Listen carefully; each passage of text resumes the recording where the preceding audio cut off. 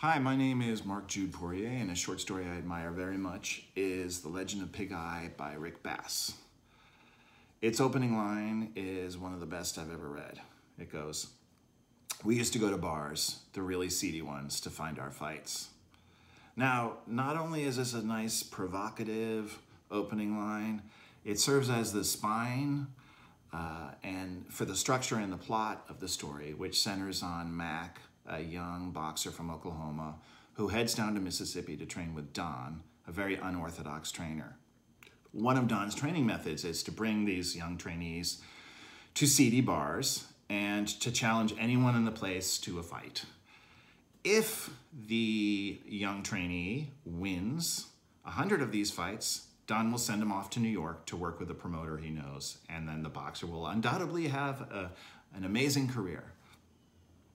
Unfortunately for Mac, our protagonist, he's fallen in love with life down there in Mississippi and he doesn't want to leave.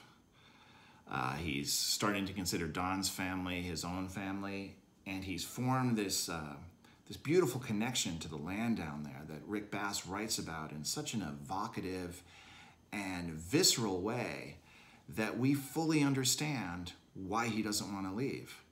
So the story turns into a story of longing, I want to be a champion boxer, and dread, I don't want to leave Mississippi.